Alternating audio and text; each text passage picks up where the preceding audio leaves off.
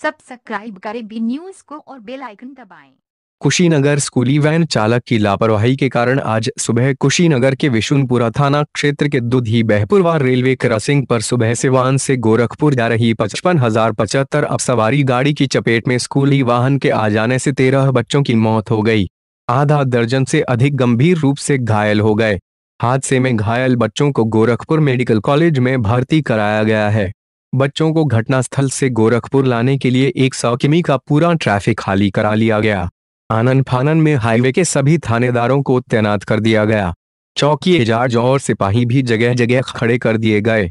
एक जगह से घायलों के पास होने के बाद अगली जगह की लोकेशन सभी एक दूसरे को बता रहे थे। इस तरह काफ़ी कम समय में सभी घायल बच्चे कुशीनगर से गोरखपुर पहुँचा दिए गए। दुधी बाज़ार स्थित डिवाइन स्कूल का वाहन बच्चों को लेकर स्कूल जा रहा था।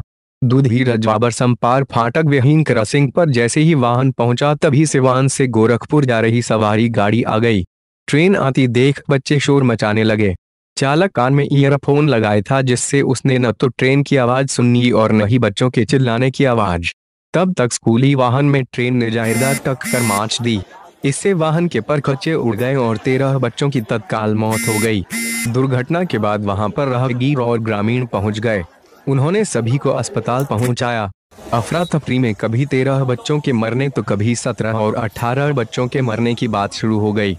पुलिस के अनुसार यह पता किया जा रहा है कि वाहन में कुल कितने बच्चे सवार थे।